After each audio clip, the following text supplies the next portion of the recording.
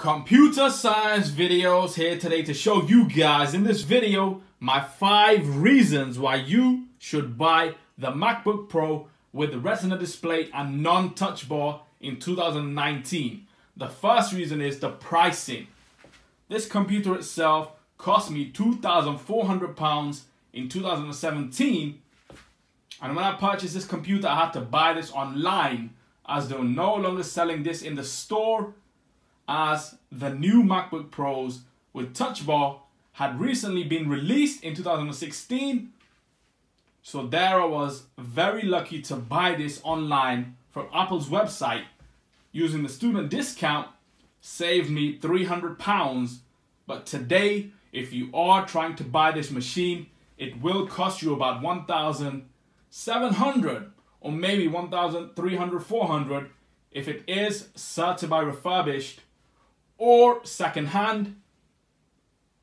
The reason why this cost me 2400 at the time because 16 gigabytes of RAM, 1 terabyte SSD, so the pricing at the time was very high. However, if you buy this today, it will be half the price. The second reason is the ports on the machine. If you see the new MacBook Pros, you only have a USB type C four times and a headphone jack, which in fact for me, that is the future. Something I would buy in 10 years time. Now, if you look at these MacBook Pros that were released in 2012, and I bought this five years later, this has a MagSafe, two Thunderbolt ports, a USB 3, and headphone jack on the other side.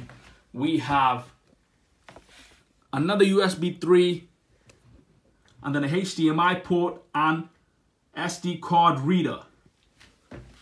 Which is why this is the machine for you in 2019. If you are a video editor, a photo editor, you need this machine. You need the ports that come with the MacBook Pro itself and not need to have to carry dongles and cables just to fit a USB or whatever you are trying to do on your machine.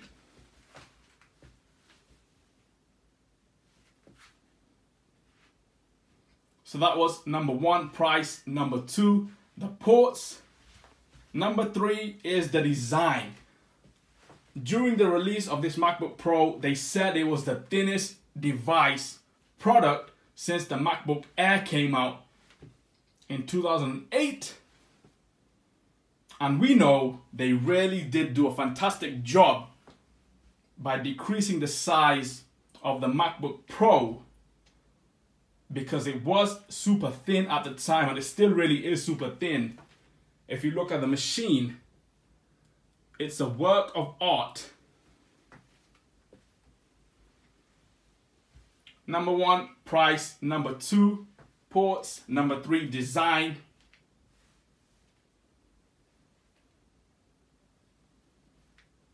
Which then leads me on to my fourth reason why this is the MacBook Pro for you. Portability wise, very light.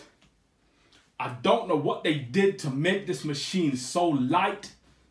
When you have it with you, it feels like you don't have it. That's how light the machine really is. Take it in your rucksack or school bag you will feel like you are not carrying one of those big bulky laptops. That's the benefit of this machine.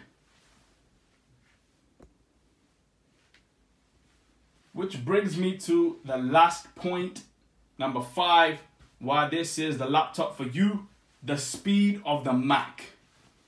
We were able to get read and write speeds of 1,800, 900, 2,000 as we have an SSD of one terabyte, 16 gigabytes of RAM. So we know when we buy a machine, maximize the specifications to get the best use out of the machine. That's it for this video. I'll see you guys in my next tutorial video. Thanks for now.